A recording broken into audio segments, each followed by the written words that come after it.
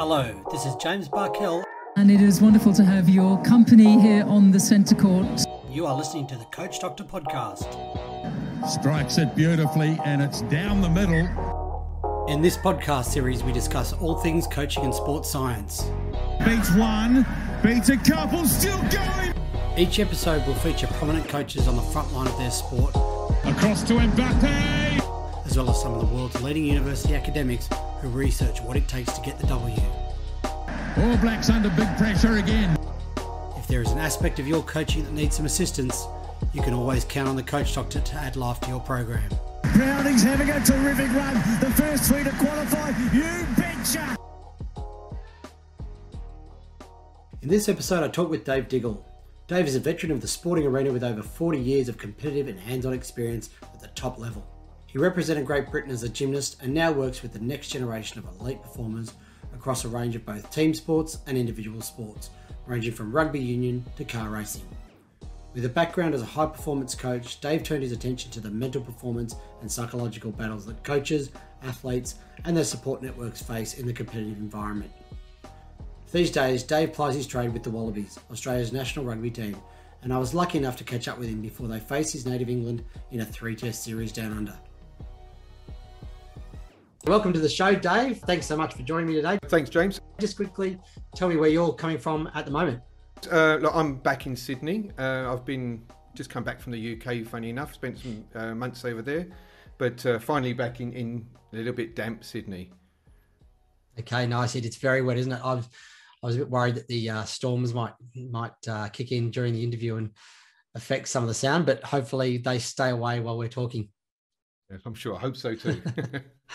Hey, Dave, tell me a little bit about your background. How did you start working in the area of mental performance? so it's a little bit of an unorthodox entry into this world for me. I started. It goes back to when I was a child. Like so, I had a, an accident when I was a, a very young baby, and I smashed all the left hand side of my head. So I have no natural sense of balance because I've got no hearing or nerve endings in my left hand side. So as a really young kid, I was incredibly accident prone. I'd fall over lots, and we're talking like like early seventies. So my parents took me to a doctor, and they said, "This is what's going on. He's got no natural sense of balance. You've got two options. You either put him into something to teach him balance, or you wrap him up in cotton wool because he's just going to be an accident going somewhere to happen." Fortunately for me, my parents put me into gymnastics to try and teach me some balance, and I just thrived in that environment. I, I represented Great Britain as a, uh junior and senior international gymnast, uh, and I was just absolutely obsessed with, with sport at that age. When I was a gymnast, I was incredibly inconsistent. So I was either doing really, really well or I just bombed out the bottom. And I thought that was a me thing. I thought that was, you know, I, I wasn't actually that talented, and that's the truth. I wasn't particularly talented. I was more tenacious and talented. So when I stopped being a competitive athlete and I went into the world of teaching and, and, and sport coaching, and predominantly this was in America, I started seeing the same patterns in not only my athletes, but other people's athletes too. There was this inconsistency. I, I knew that we were all very well trained physically. So back in those days, not so much now, but I had a very fit body and um, I was incredibly well trained. My coach in the UK actually was one of the most successful British coaches of all time. Um, so I knew I had the right kind of technical coaching. So if it wasn't technical and it wasn't physical, then it had to be psychological. So I, I took myself out of high performance coaching at that point, the physical coaching aspect, and re-educated myself in the psychology of performance. And so I guess my drive to get into mental performance came from my own experiences, both as an athlete and as a coach. And it just in, in intrigued me how much power our mental thoughts, our internal language had over our performance. So that, that's my unorthodox entry into the mental coaching world. I studied performance psychology, uh, CBT. I spent a lot of my time spent in uh, learning hypnosis, and there's a, quite a few different stories about how to the depths I've gone and done that, and a few other different modalities too. So I, I try and match the right tools to the athlete as I go along. Okay, interesting. Yeah, I didn't know about your background in gymnastics, and hmm. interesting to hear that you had issues with balance, and then you became so good at a sport like gymnastics, which basically relies so much on balance. So that's really, really interesting to hear. Is it hard to be mentally switched on in performance wise all the time? In yes and no. So being switched on mentally and being engaged. So the, the terminology I use is about being engaged. So that's one of the metrics we have for seeing if somebody is mentally switched on is their engagement. Are they actively communicating? Are they actively problem solving? Are they actively actioning a skill or a request from them? So it's not a have or have not. It's a trained skill. So this is this falls under the same banner as mental toughness. Most people think about mental toughness as a have or have not skill set, but it's not. It's a trained skill set. And we we did a study a few years ago looking at the performance of athletes over a game, a rugby game, to for this conversation, in their whole engagement throughout a, a 80 minute game. How actively engaged were they? And one of the key things that we took away from that was we started to see a set of patterns. So if that athlete was stay say starting slowly, then peaked halfway through a game and then tapered off, we ha- we kept that information, that data, and then started went back and looked at their training, and there was a direct correlation to how they trained. So, in mental engagement is a trained thing, and if we train inconsistently or we train poor at the start of a session, then try and work hard during the the session itself, and then as we start to see the end of the training session coming, we kind of mentally switch off.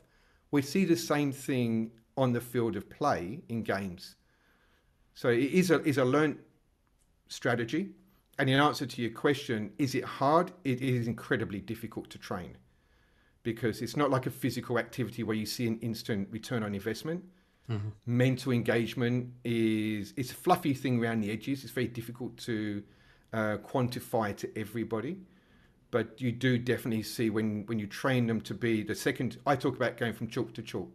The second you cross a chalk, you want to be switched on if you're switched on and you're engaged, you're problem solving, you're communicating, you're actively engaged with the, the team dynamic, if you're in a team sport, then they're the metrics we measure. And the more you do that, the stronger that muscle in our mind becomes.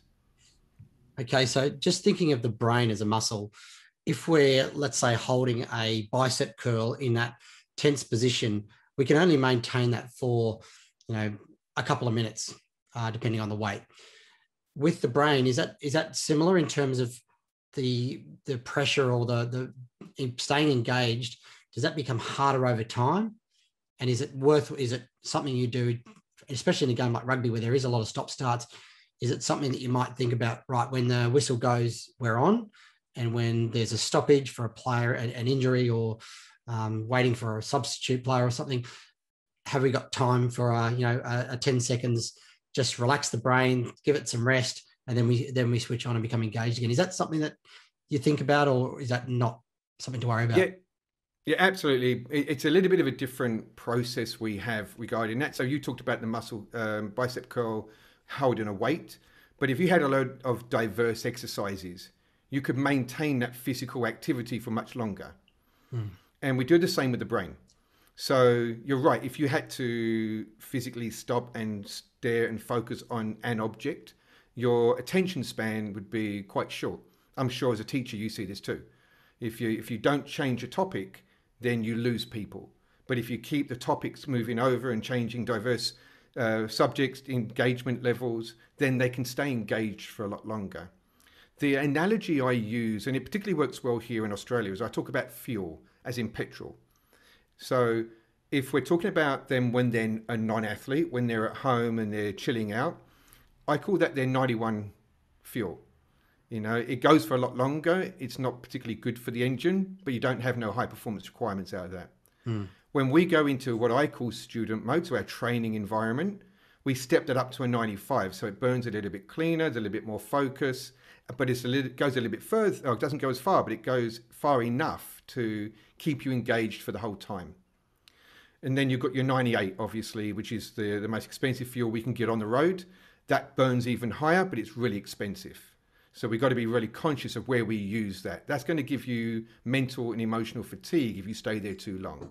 Okay. So being able to traverse in and out of those different stages allows you to um, manage those fatigue-based moments. So, in, to use your analogy, yes, as, as, a, as a game goes into a, a lull, maybe it's a you know going into a, a scrum or a line out, and you're not involved in that straight away. You do get that opportunity to step down a couple of layers, get yourselves get your thoughts together, and then refocus when we're talking about game, we talk about those 91, 95, 98. When we go into game mode or performer mode, as I call that, for me, that's like the F1 high octane fuel. You want to be burning really, really clean. It's really expensive, so you've got to be really conscious of when you're spending that time.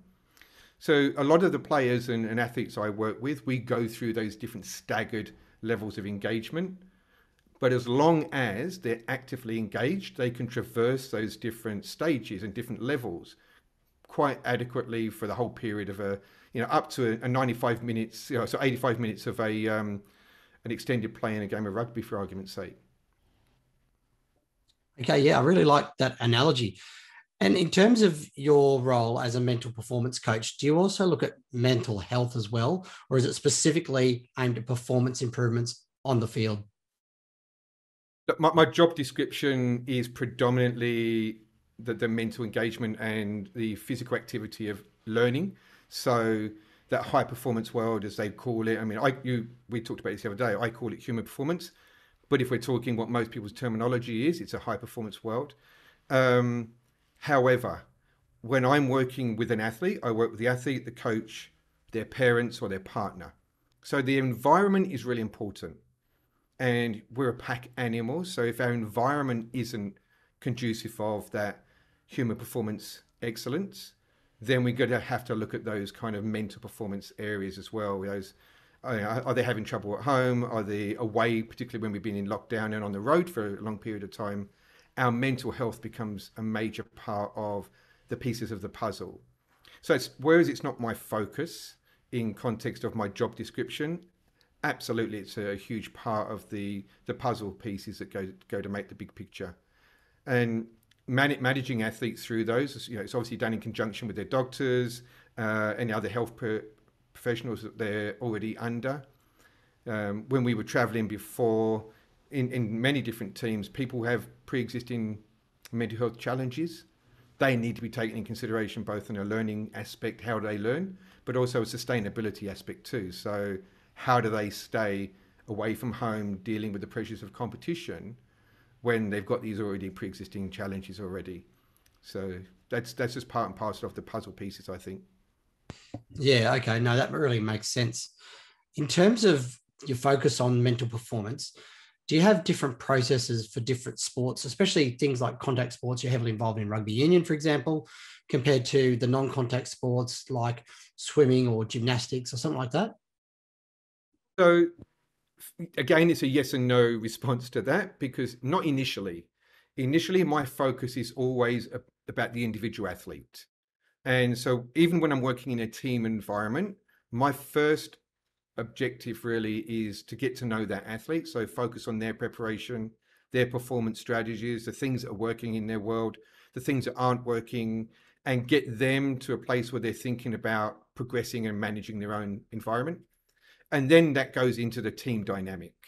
So if I'm working, you know, I've been working with the Wallabies now for a while. So working in a rugby union world, my first job is individual athlete. And then when we get into a team environment, it's around the team culture, the team focus, and then how do we integrate that individual athlete's preparation process and performance process and, and plug that into the team dynamic. So initially, no, it's an individual person. So I, my my philosophy is the best version of you, everybody benefits from. And when we focus on that perspective first, and then plug that into the team, as long as everybody's singing the same song, and if the team dynamic and their team thoughts are very similar to what I'm trying to do with the athletes, they normally plug and play quite well. One of the things that we're very cognizant of is managing emotion. And when we talk a lot about team dynamics, team emotion is, is, is a massive part of what motivates a lot of people to be part of a team. It can also be a double edged sword and, and be able to drag them down too. So getting an athlete to be quite self-sufficient and self-aware of their own state of what they want to do, how they want to perform, how they want to be switched on. If a team, and we see this in a lot of team sports, if the team starts to slide down and get into a negative space, having individual athletes who are very aware of their own self status cannot get dragged down that dark hole as well. So if a lot of team players are very aware, you start to see a, a uh, sustainability within a team too. So if they go back to back errors and there's some key players, maybe the leadership group, positional players, where they're really aware that, hey, we can turn this around and they're very aware of their own self, then they become kind of pillars in the team dynamic to kind of drag them back out on your website smartmind.com you've got some links to some other sports that, that you've worked with and one of them is motorsport which i find quite interesting as well mm. what's the mental preparation like for a race car driver and again you sort of answered this question does it look similar to other sports or is there a specific difference in terms of the requirements for a racing car driver compared to an athlete that might be getting up on the blocks and swimming against another competitor or a golfer who's swinging their swinging their uh, golf club and you know the processes i guess that they're going through.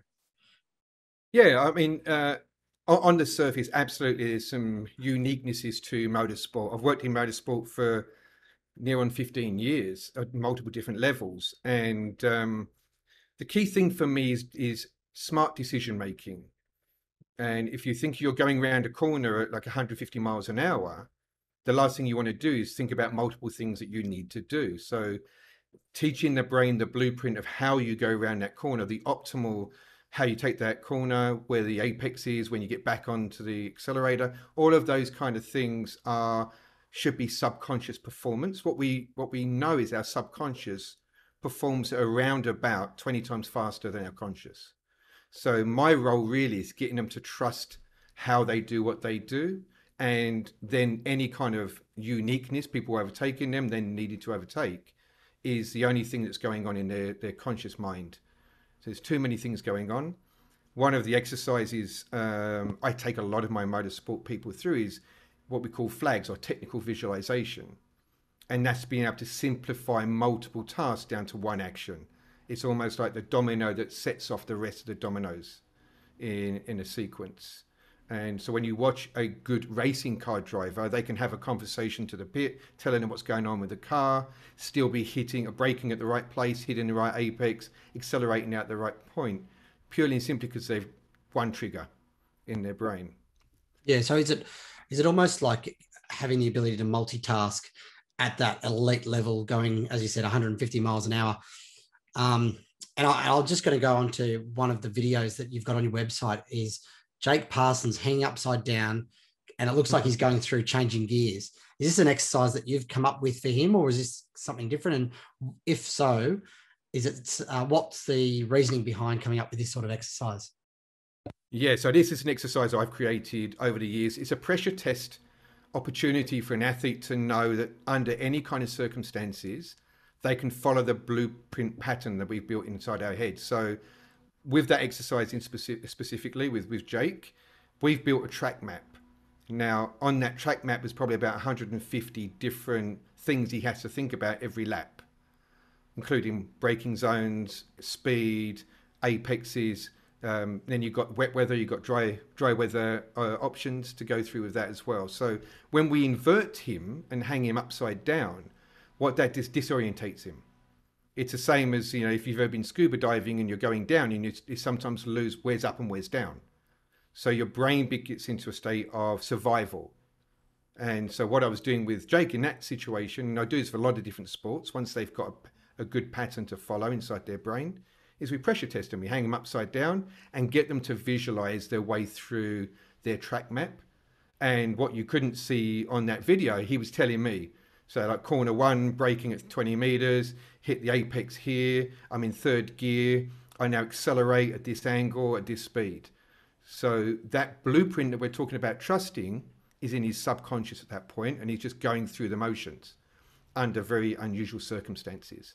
So when he does get on the track, somewhere that is comfortable to him, he'll be able to recall that and not feel flustered. No, that looked it looked really good and really um, really innovative. And I don't know if it's something that's common in in race cars, but it it completely, I guess, being a, a Star Wars fan as a young kid, it, very, it was very Yoda esque in terms of Luke Skywalker hanging upside down, learning to control things with the Force. So that was very interesting to see. So thanks for explaining um, the reasoning behind that activity. I'd like I'd like to say Yoda took it from me, but I'm not quite sure that's true. okay. So tell me about your role with the Wallabies. Yeah, so I, I my history with the Wallabies goes back quite a few years. Um, there's been a number of key players that have come and seen me individually uh, over the years. You know, started off with um, Lachie Turner many, many years ago, and then Dane Haylett Petty and Matt Toomua and people like that started coming to me individually and, and getting individual coaching on their performance.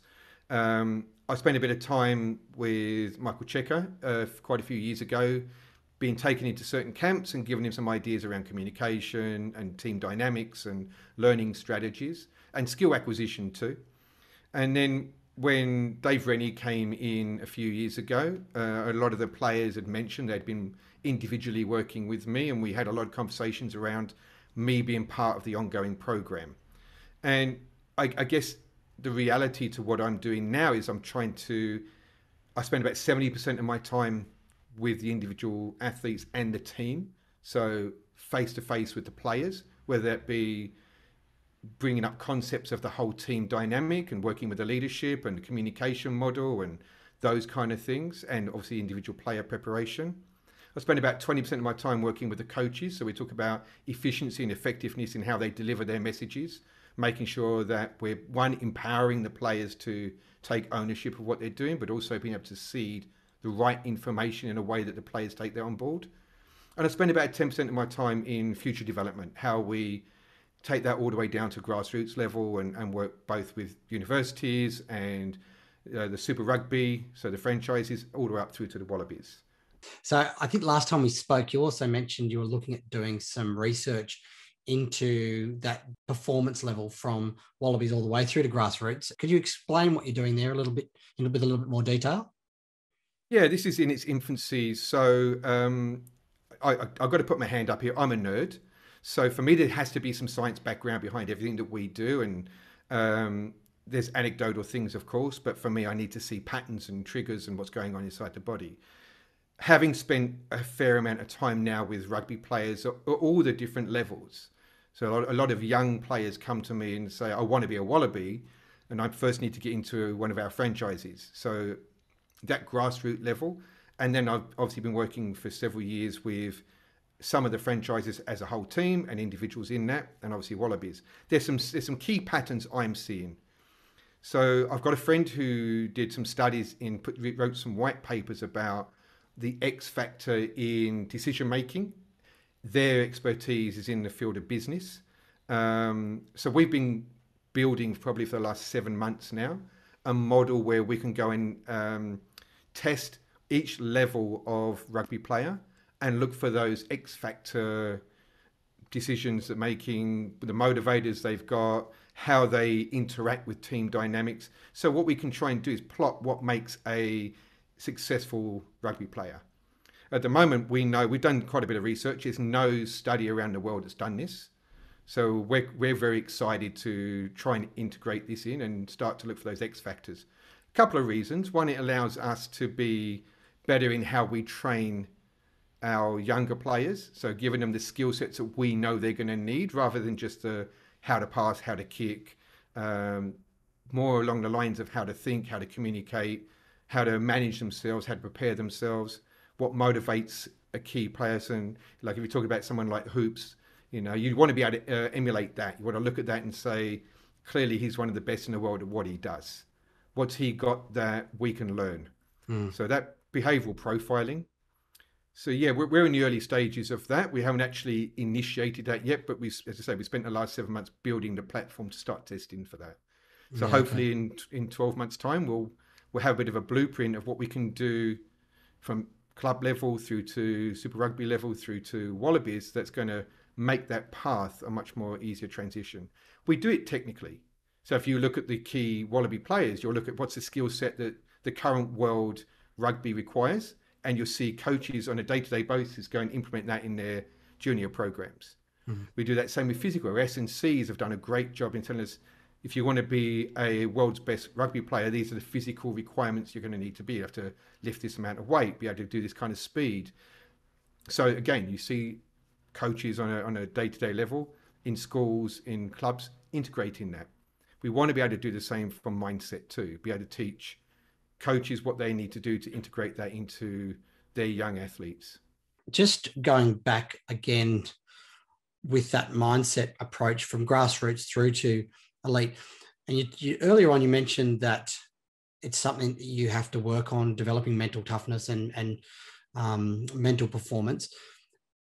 Do people mature at different rates that affect that growth? Is it like some young some young kids are really switched on from a young age and they're really focused and want to be a wallaby or they want to be the next Lionel Messi or they want to be the next um, whoever. But some kids don't really start to think about that or start having that ingrained in or built into them until a lot later? And does that mean those kids who don't have that at that young age are sort of left behind and they're not going to progress to that elite level? So, in answer to this, I'm going to show my age. So, when I was competing back in the late 70s and early 80s, I think there was a lot more people had primal mental toughness because we had to train, we had to go to school, we had to train, we had to have jobs. So our life was a little bit less orchestrated, and I think we were probably a little bit more self uh, self aware, self managed. But I don't think our ability to perform at that level was there. So I think what we've done to integrate uh, high performance into the world and those expected uh, physical, technical requirements has allowed us as a, as a sporting um, organization to have a much higher level of high performance. But with that came, I don't think young children were given the tools to be able to think and orchestrate for themselves. You're right, 100% people develop and mature at different ages. There's a very small percentage of people, in, in my experience, in my study, that are naturally born with the ability to self manage. Uh, and most people need to get to a stage of either quite a high degree of maturity before they look at it and go, there's more to this than just the physical or the technical. I need to be switched on here. Or more often than not, it's they go through a period where they go, I'm not performing. And they, they go for a period of over preparation. So they'll overtrain, they'll spend more hours kicking or, or, or throwing or doing everything they need to do and realize that they're getting fatigue based injuries, but their, their performance isn't getting any better and what I'm trying to do now is to look at so we don't have to go through that period of it being really tough where they they're underperforming because I see we're losing a lot of players because they don't know how to get out of that that place where they're working hard, they're working longer hours, they're kicking more or they're they're passing more, they're getting these injuries, but there's no strategy to get out. So they tip out. They tip out the sport. Um, there is a necessity, I think, to go through some adversity to realize where your boundaries are. I think that's an important part of life, uh, an incredibly important part of life, particularly high performing. You know, I think that's something you've got to be able to deal with those adversities. But we also need to give them the skill set to be able to manage that. Mm-hmm. So if we can get in earlier and start doing the mental preparation, mental performance, I, I ran a, a training um, on the weekend. It's just gone and I worked with a whole bunch of young athletes. Now I'm talking from the age of maybe eight and a half, nine years old and up. And I was teaching them some of these preparation techniques, how to think, how to communicate in a much more simplistic version. But when they walked out, you could hear them talking differently. Now, that was just after a three hour training with me. But what that's already done is it's given the, the, the catalyst to change. And so, if we can give these tools to young athletes, they may not necessarily at the time know what gold dust they have in their hands. But when they hit those really challenging times, they've got some tools in the tool belt, belt to go back onto and go, okay, I can do this differently. Mm. I don't have to go through the next two three years thinking, am I good enough? I know I'm good enough. I just got to put some different strategies in place. I'm going to go back to your role with the Wallabies. You talked about spending time with the players and time with the coaches. So I want to talk a little bit about your time with the coaches. And I, again, I'm going to go back to your website. You've got a course that you run on skill acquisition. When you're talking to coaches, how do you, I guess, look at skill acquisition or how does skill acquisition tie in with the mental performance? Yeah, so if we go back to my earlier comment about trying to get the racing car driver to perform subconsciously in that sense of flow, when I'm talking to coaches, we start with the outcome in mind. Okay, what is it you want to get these athletes to do? And then we reverse engineer that process. What do they need to know before that? What do they need to know before that? What do they need to know before that? All the way back to where they are right now. And then I say, right, what is it the one or two key things they need to know to understand that phase? And so my my role with coaches is not teaching them how to coach because I work with a whole diverse range of athletes in different sports. And other than being a gymnastics coach, every other sport, I'm no specialist in. But what I do try to do is take the the, the message from the coach and help them to be able to deliver it in a way that the athlete's going to get it. Historically, one of the key things I think that we as coaches do um, that's detrimental is we give them a whole picture. Say, this is how I want you to pass, for argument's sake, rather than this is how I need you to stand. This is how I need your body shape to be. Right, we've got that. Now let's look at the, the action. I did an exercise with um, a very prominent wallaby a few years ago, and I went down to Canberra where he was based, and I set up this exercise where he was on the white line in the middle, and six feet inside of him were hoops, and there was six hoops, and so there was this, this a ball in line with the two hoops, one left, one right, and a ball in line with the next set of hoops, one left, one right. And I said to him, "What I want you to do is to walk up to the first ball and pick a side and pass it, but I want the ball to land inside the hoop." And as I say, he's an incredibly prominent rugby player at the time. And he walked up, passed it to the left, and it went just slightly too far. So he went to the next one and he passed it to the right, but it went too shallow. So he went to the next one and he was getting really frustrated. I could see he's getting frustrated. I knew, like I say, he's been a prominent wallaby. He knows how to pass a ball. But what he was doing was overcompensating. So then I got him to do it again, but I got him to do it blindfolded. And interestingly, his success rate was way higher because what he was trusting was that blueprint inside his brain. He mm-hmm. wasn't looking to correct, he was looking to follow through on that blueprint. So, in answer to your question, what I try to do with the coaches is get them to embed that blueprint of how in such a way that the athlete gets it. And so I'm working with their language patterns, I'm working with the delivery style, I'm working with breaking it down into bite sized chunks and then getting to the coach to recognize when that athlete actually gets that technique. Now we can move on. Does that make sense? Yeah, no, it does. It's good. Again, very, very Yoda esque in terms of blindfolded. I do a lot of my exercise blindfolded. Yeah. Okay. No, interesting. How do you spend your time with the players in terms of going through their mental skills? Do you address them in a, in a workshop scenario, or is it a lot? Is there a lot of stuff that you address on field? Yeah, it, it's it's a, a, mixture of all of those things. So if we're introducing, so what I do what's called a seven to two, which is a funnel process. It's a preparation uh, into game day. So we we I will present that if we're talking about the Wallabies here. I'll present that to the whole team and say this is how we effectively prepare for a game, and how they build that funnel process is a uniquely thing to them. The key things that are important to them. Then I'll go away and I'll work with them one on one to refine that preparation process specifically for them, and then when we are out on the field. So when, when I was on tour, the Wallabies, you know, I was in every meeting, I was in every training session, and I had individual sessions with them outside of that. But when we were on the field, you'd often see, uh, particularly pass, uh, like lineouts, so the hookers or anybody who's doing kicks will come to me and go, "This is what I'm trying to do. This is what's happening," and we'll simplify that process, that blueprint inside their head. Sometimes that's running repairs on the field. Sometimes that's observational stuff, so we'll film them and then we'll go and analyze that and say, okay, what was you thinking here? Does that correlate into your action?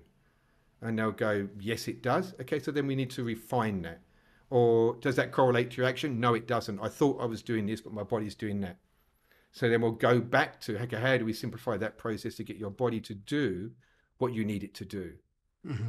So there's there's a very healthy mix of all of those different delivery systems.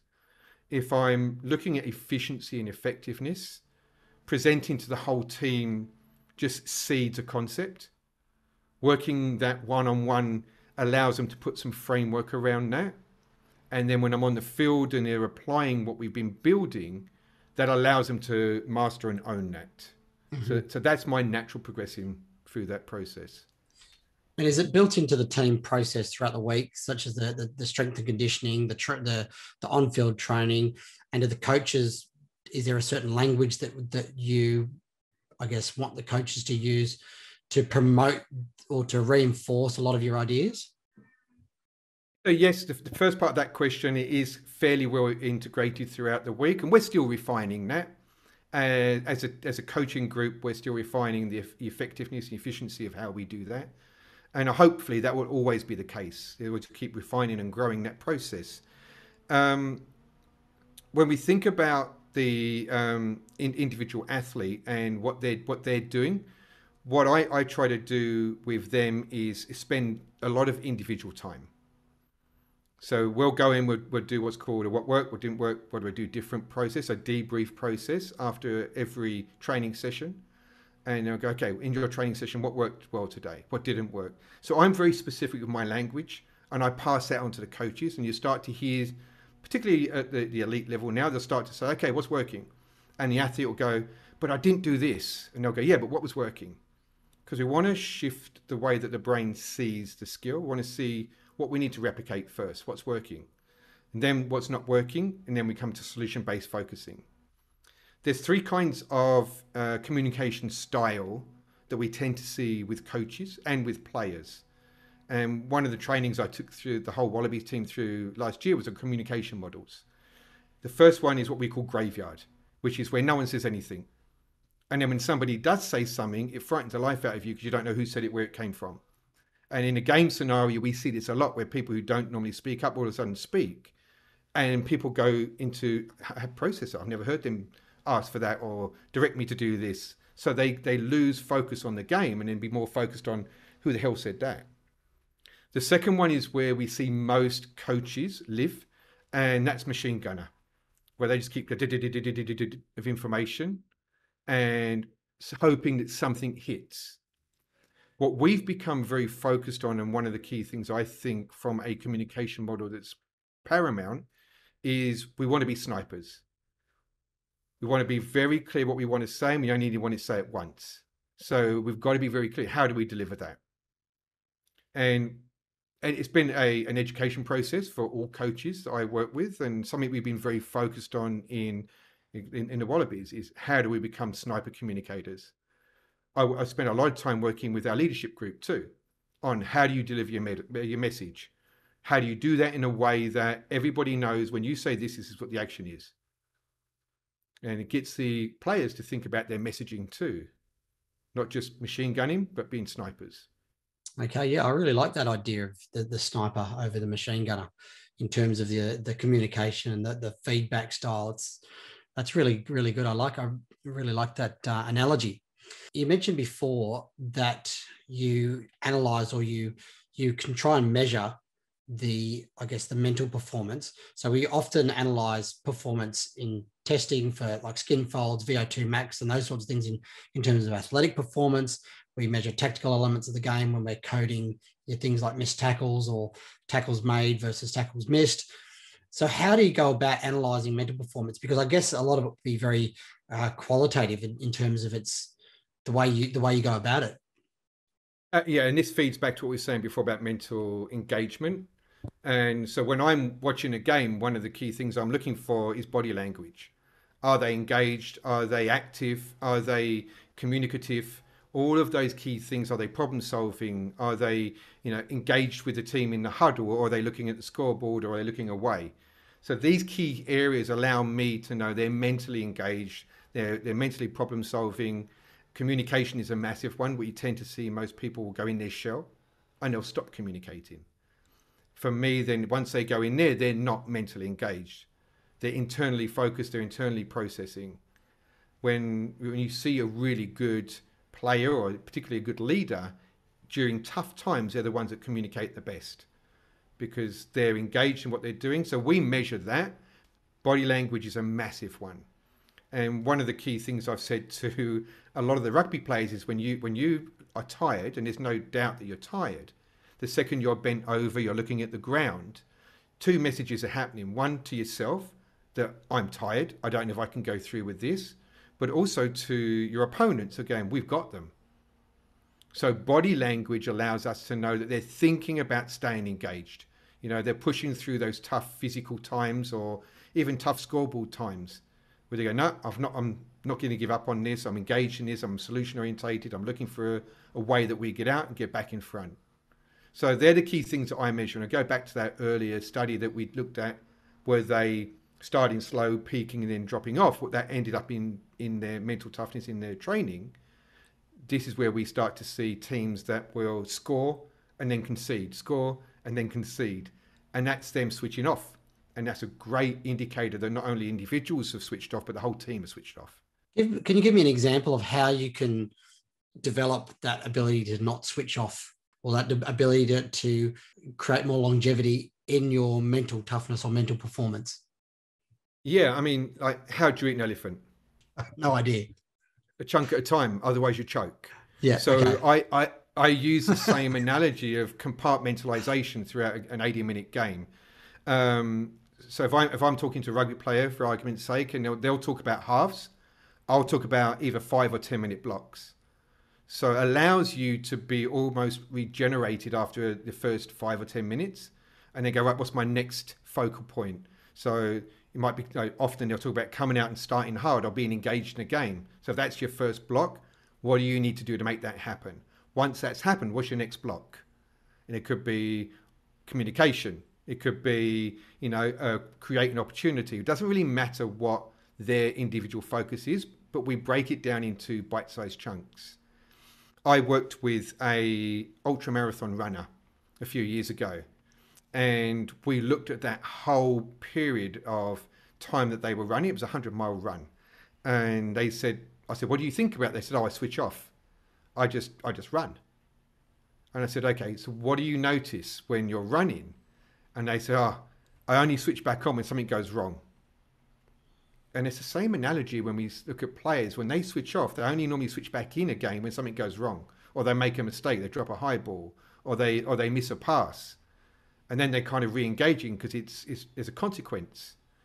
But if we break it down into those bite-sized chunks, then every period of time, let's say whether it be five or ten minutes in a rugby game, with this runner, it was every 20 minutes. We had a different focus which allowed them to stay engaged. They could focus for 20 minutes. Rugby players, if they can focus five minutes and then go, right, tick, got that, on to the next one, it allows them to stay engaged for much longer. And that's a training process. They'll get better and better and better at that. Dave, a lot of coaches will give a message to their players. It's, you know, it's the first five minutes. You know, we win this game in the first five minutes. What happens if you if a coach gives that message and the first five minutes everything goes wrong and the team sort of crumbles for the rest of the game. Is, is that a bad message to be giving teams, or what, what do you think? Uh, interesting you say that. I've had this conversation with coaches on multiple different levels in multiple different sports um, in setting up an expectation like that. So, in answer to your uh, your question, is it a bad message? I believe so. Yes. So we, we when we're preparing for a game, we as I say we break it down into each section. So when I'm playing, when talking with players, it's five ten minutes. When I'm talking to coaches, it might be every fifteen minutes, and making sure that what the the coach's messaging for the whole collective team is this is our focus. We want to come out strong. We want to dominate this. We want to what we want to do in the first 15 minutes. Then we want to do this, which is going to do that. It's going to do this, and go through the whole process. In my funnel process, my seven to two, the whole concept of this is when you get to the day before a game, you can look at it and go, do I feel ready? Now, most athletes will say, no, I want to go and do some more kicking. I want to do some more passing. I don't feel particularly confident yet.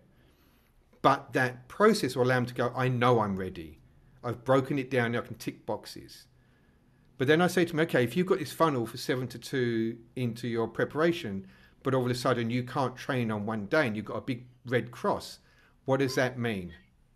And then most athletes will turn around and they'll say, that means I'm not ready. I'll say, no, it doesn't. But because you know that the two days before that, the two days after that, you ticked all your boxes, you know you can manage that.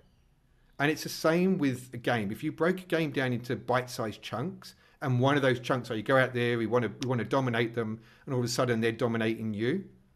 Okay, guys, next task, next job. What is it? And allows them to focus on the next job rather than think, I've got to play catch up. I've got to fix that first 10 minutes.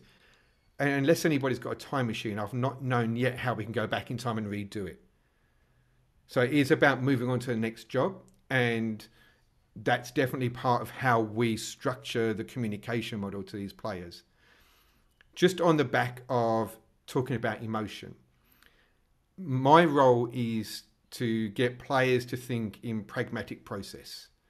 If you go into a stadium and there's 50,000 people looking at your emotions are going to be up, doesn't matter who you are. So what I need to do is get them to think more process orientated. If the emotions go up, it's like a seesaw. If the emotions go up, normally the logic goes down. And that's where we make mistake after mistake after mistake because we're trying to emotionally fix it by overworking or overdoing or overplaying. So I, I get players to go, when, when the emotions go up, what I want you to think, what's my next process? How do I systematically go through the next bit? So it, it gets some more e- equality into what they're doing and an equilibrium into what they're doing. And allow them to do that kind of process of, yep, break this down. That didn't work, flush that, move on. There's a, there's a technique I take a lot of performers through, and that is when you go into performer mode, all you're doing is executing what you know. And in reality, game day or competition day should be the easiest thing you do all week. All the hard work needs to be done during the week. So when you go out there and you're executing, if you make a mistake, that's not the time to go and think about it and correct it. That's the time to move on to the next thing and execute that your best. So having that identity around student versus performer and allowing them that when you come off the out the game, we'll analyze what didn't work, we'll put it right. But in the game, that's not the time to go and force a shift or a change in, in what you've done. And how about after a game when you have a either a, a really good win or a really bad loss where maybe the teams perform really badly?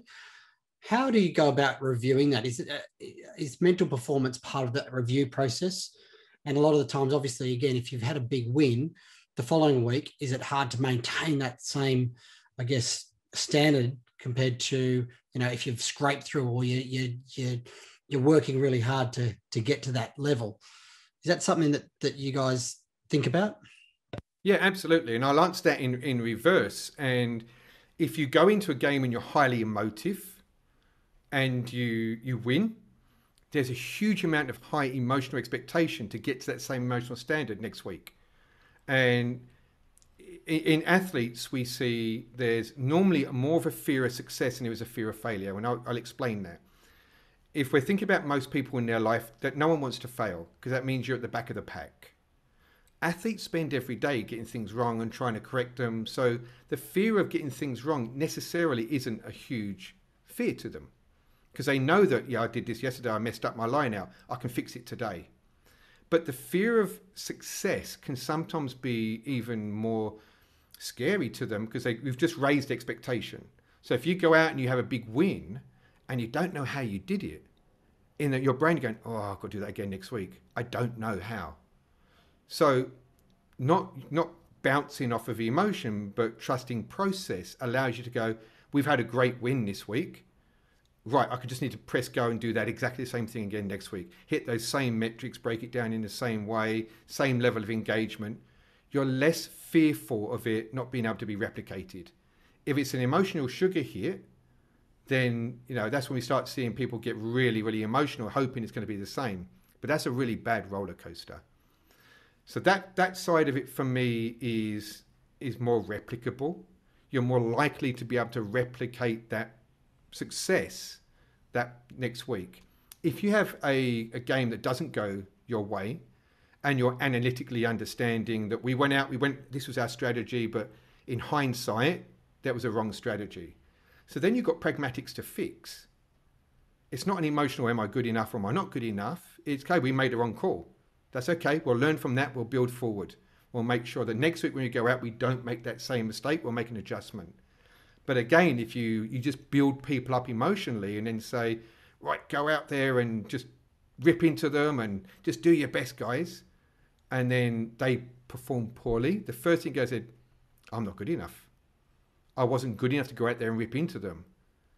So it, it actually takes away our ability to create replicability in process and in performance. The other thing, the process I take them all through is what we call a mental huddle. So uh, one of my trainings is taking an athlete individually through.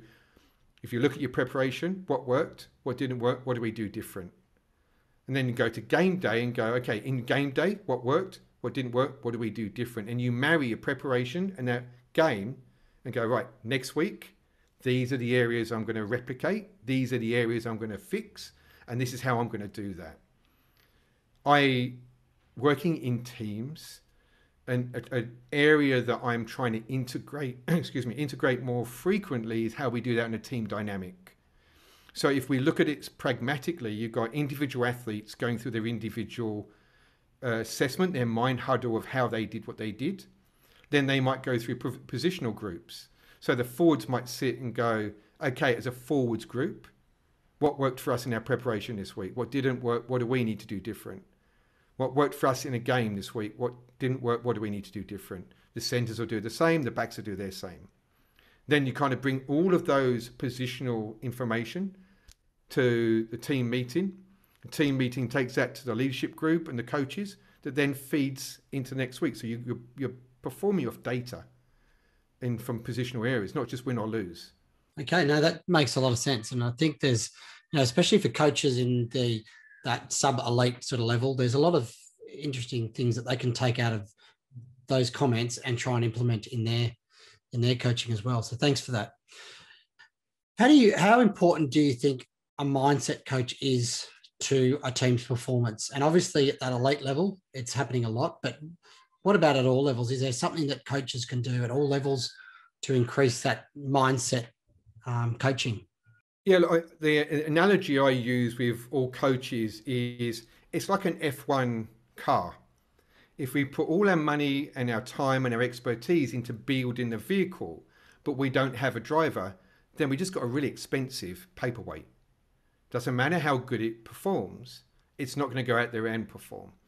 So I think having a, a mindset coach inside every organization, of course, I'm going to say this, I think is paramount because historically, when you look at preparation of athletes, almost all the focus is on physical and technical. And then they don't understand why they the athlete can't take that physical and technical preparation and transfer it into a game. Under pressure, all humans revert back to familiarity. So what we want to do is create a familiar performance uh, strategy and cycle for that athlete. So getting inside the head, getting inside the driver, if you like, inside that vehicle, is super important. If we look at the younger, um, I, I, wrote some children's books about 20 years ago, and I, I wrote 22 of them, and they were language-based driven books, which is a little bit strange if you think about it from what I do for a living. But my whole concept was to shift the way that these children think in an early stage and give and set them up for success rather than try and fix them when they're high adults or high teens, early adults, and go, we could have fixed this years and years ago. So I see getting involved with grassroots performers of all stages as a an immunization against potential future crashes, and being getting athletes to speak in articulate ways, in there being no snipers, being able to analyze their performance where they know that they made a technical mistake rather than I'm not good enough at grassroots levels allows us when we do get to that high end performance level of that all they're focusing on is application of their skill set. If i'm having to work with them on their i'm not good enough at that stage then we're already hamstrung. Dave do you mind telling me what those books are Yeah, so it's uh, a series of books. Uh, Enjoy the ride and, and, and ride the wave, and um, people can go and search them out on Amazon. They're a good twenty years old now, but they're just really simple for three to six year old bracket, and designed for mum and dad to read to the kids, and it's very focused on delivery of empowerment of language.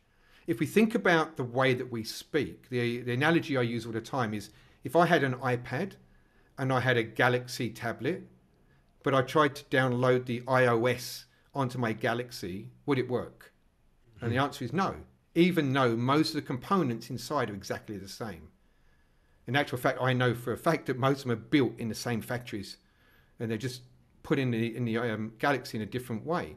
So our language patterns are our iOS operating system. We've got to make sure that it's efficient, it's effective, and it's relevant to us. Then you can go out there and you can upgrade that as you go through life. But the reality is, it's an operating system that works for you. Okay. No, I'm definitely going to have a search for some of those books, mate. That sounds interesting. Hey, Dave, last question because I've, I've already had you for about an hour of your time and I know you've got plenty to do. So, lastly, on your website, smartmind.com, you've got a number of courses and programs that are available to, I guess, anyone. Who are these courses aimed at? Are they aimed specifically at elite athletes? Are they aimed at basically anyone or young people looking who, who want to maybe be elite one day? So yeah, we've got a, a bunch of videos that deal with a whole series of, of normal challenges that most elite athletes face. So it, who are they for? They're for the people that are not quite yet at that level, but they want to break through, and they're, but they're finding some resistance to some kind of learning, whether it's like performance anxiety or whether it's mental blocks or anything like that. These videos are designed for them to watch, go through, and learn some strategies. Uh, often getting the opportunity to work with somebody like myself one on one can be challenging, both time wise and financially, for some young athletes. So these mental deep dive videos are for people to kind of, that's the first step. Let me go and see if I can solve this myself and go through these videos, get some of the strategies, they'll give them opportunity to maybe realize why they're having the issues, which is sometimes a massive step forward for them. And they realize, okay, this is normal. I'm not broken. I'm actually just being human. So I, there are strategies for me to move past this. So the, the, the training video library, we're, we're constantly adding to that. In actual fact, I've just spent two months recording a whole six new episodes to go in there, different topics. So they'll be dropped in over the next couple of months. Uh, another course that we, we run is the Mental Gladiator. This is something that um, I've done face to face over many years, and it's over a, over a month or a 30 day period. We take athletes who would normally turn around and go, I'm really nervous. I don't know if I want to perform on the weekend. I don't want to go out there. I love doing my sport. I love training, but come come game day, I'm really scared. And I teach them a set of 16 strategies over a course of 30 days how to go from dreading to perform to loving how to perform. And so the, the mental gladiators, just that what I've always done face to face. We're now going to start doing those online because, hey, COVID has mean most of us have to learn online, and uh, I'm not traveling the world like I was doing. Um, so yeah, th- these are just courses that allow young athletes who want to be at the high end of their sports but are just finding some of the challenges in getting past of the normal things everybody goes through and not really having access to find out how do I navigate those things. Okay, thanks for that, Dave. So, Dave, I really appreciate your time today. Thank you so much for giving up an hour of your time. And mate, all the best of luck to you and the Wallabies. I know you've got England coming up later this year, and obviously, judging by your background, you might have a, a second thoughts about wanting the Wallabies to win that that that Test series. But no, not mate, um, all the best for that, and I hope you guys do really, really well. Thank you very much, and it's been an absolute pleasure talking to you. Thank you for having me on your show. I have to say, I really enjoyed this chat, as I do all of my chats, but there were some aspects of this one that really brought up some memories of my childhood watching movies like Star Wars, where Yoda trains Luke Skywalker in the Jedi arts by overloading his mind, having him upside down, using the Force to move multiple objects, and martial arts movies like Bloodsport, where Jean Claude Van Damme, playing the character of Frank Dux, is blindfolded while training to simplify his thought processes and focus his energy. Basically, Dave uses similar ideas for what seems to be similar reasoning, so I found that extraordinary. I also really like Dave's simple use of analogies to explain sometimes complex theories. After spending some years researching coaching behaviours, I have learned that the use of analogies can be a very powerful tool for athlete understanding. But never have I heard such well constructed analogies used so regularly that were also so effective in their messaging. I would presume Dave structures a lot of his work around analogies for this exact reason. Specifically, I really like the ideas of coaches being either machine gunners or snipers, and the idea that we all really want to be a sniper that is accurate and succinct with messages rather than machine gunners who waffle and take time to get the message across or send out too many messages in one instruction. I also really like the way Dave was able to connect the idea of mental training with skill acquisition development. This was the first time I heard how the two areas of performance were symbiotic. I hope you enjoyed this conversation as much as I did and took as much away from it as I did. If you enjoyed it, please feel free to share it on your social media pages and share it with your friends and colleagues. If you would like to get in touch with Dave Diggle, you can find all his contact details on smartmind.com. I'll have a link to this on my show notes.